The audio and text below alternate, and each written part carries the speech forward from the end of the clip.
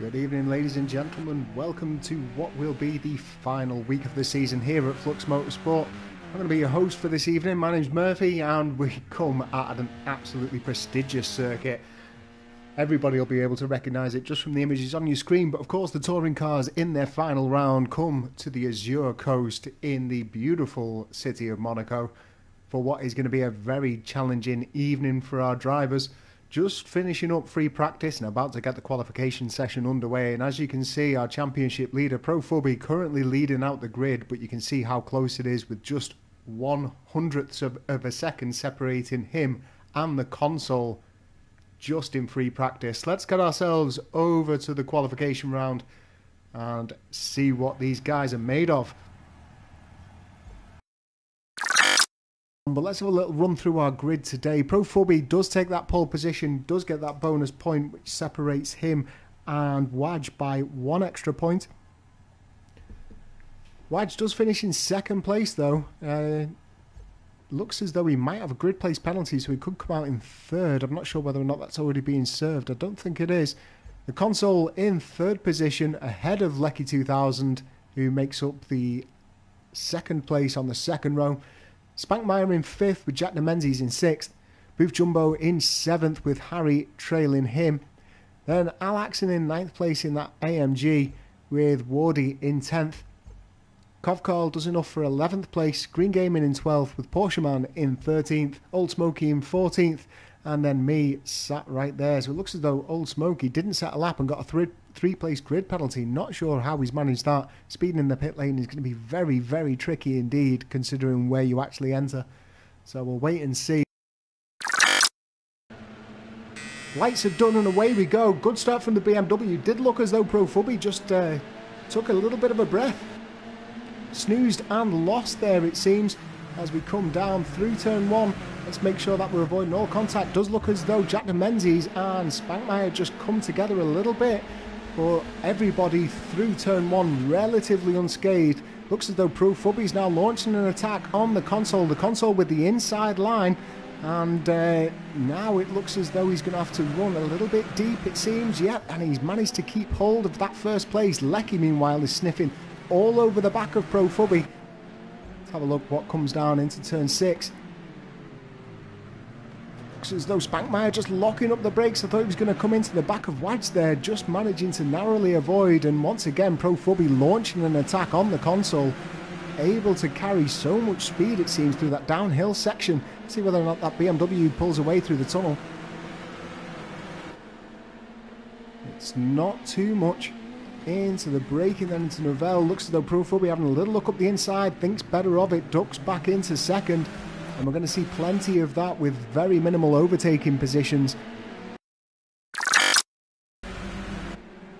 Oh, and there's a big, big knock from Wadge into the side of Spankmeyer. He manages to get away with it relatively unscathed. Keeps his... Oh, and Wadge hits the rear of Spankmeyer again. Almost takes out Lecky.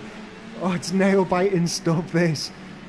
My word, it's going to be very, very tricky for any of these drivers to make a pass. Looks as though Wadge's car has got a little bit loose, and that's uh, that's leaving the door right open for both Lecky and Jack Menzies. Spankmeyer, meanwhile, got the fastest lap, that last lap around 139.079 is the fastest lap so far in this race. And oh, the console loses his rear end luckily avoids Spankmeyer, but uh, that is definitely going to be a little bit of rear end damage somewhere, at least on the uh, on the aero. Our aero isn't really a key factor in these rather slow touring cars as it would be for some of the open wheelers, but it's certainly going to play a factor. Meanwhile, though, look how close he's been able to get up to the back of Pro Fubby. Pro Fubby's going to have his elbows well and truly out. Looks as though he's going to hold on to the outside lane, which is the optimum lane, uh, optimum entry for Nouvelle. Don't want to get yourself up onto the inside unless you know that you can make a pass and perhaps outbreak the person ahead of you. And Old Smoky has since left the grid once again on a mare of an end to a season. I think ever since I said that he's uh, looks as though he's turned it around. Ooh, big wobble there from the console. Just manages to keep it together on the run up the hill. But uh, huge wobble. I thought he was going wallwards there at uh, relative speed. Front end collision for that BMW will almost be curtains. As soon as he does any serious damage to that front suspension, it's going to be all over the place. But uh, it's certainly given a bit of breathing room to Pro Fubby. He's now sat about a second above the console.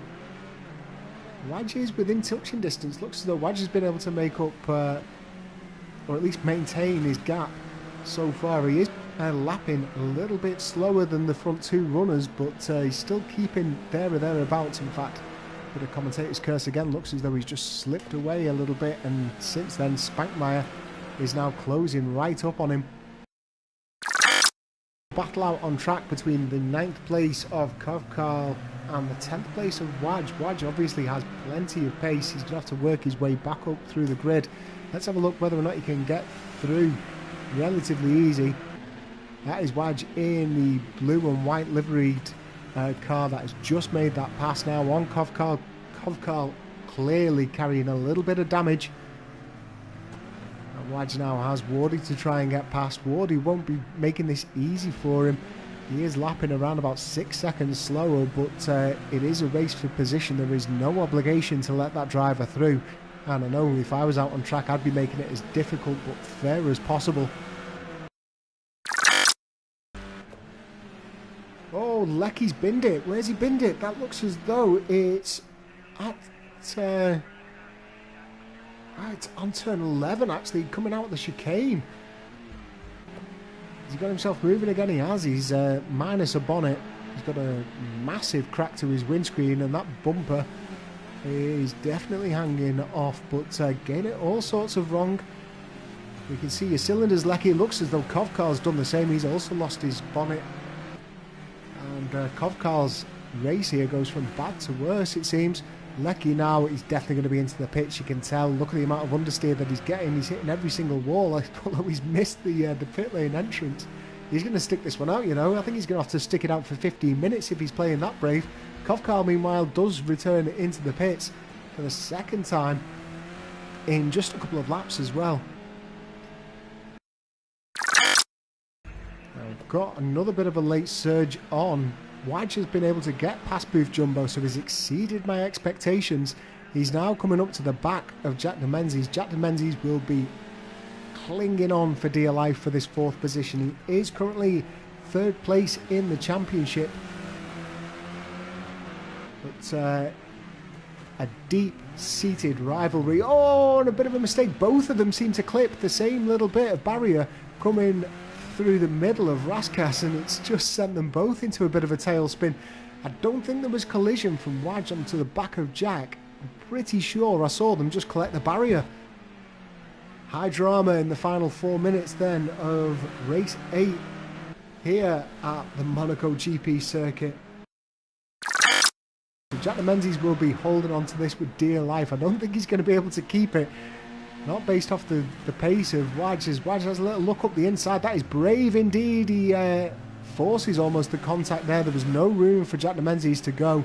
Very brave indeed. You can see an angry flash of the lights from Jack de Menzies. The frustration is coming right out. He really wanted to keep hold of that position, but uh, it's not to be, and that uh, puts the console up into third position for the championship. That is the race done for, the championship decided, and the season over here in the FMTCC. Pro Fubby comes out with a victory along with the pole position. I think he's just missed out on the fastest lap, though. Just pulling up that data for you. He has indeed. Doesn't get the Triple Crown, but does get the championship, so I'm sure he won't be too bothered. The console finishes up in second place, despite his three second penalty, with Spankmeyer finishing up in third. I think uh, the console saved by Spankmeyer's three second penalty, it seems. Wadge does enough for fourth place in the end, ahead of Jack de Menzies, who finishes up in fifth. Booth Jumbo in sixth, with Alaxon in seventh, Harry in eighth, and Wardy in ninth in the end. Lecky in tenth, with Green Gaming finishing up in 11th spot. And then Kovkarl, Old Smoky, both retired along with Porsche Man early on. So, thank you for joining us for what has been an awesome season all round. Congratulations once again to Pro Fubby for your championship victory.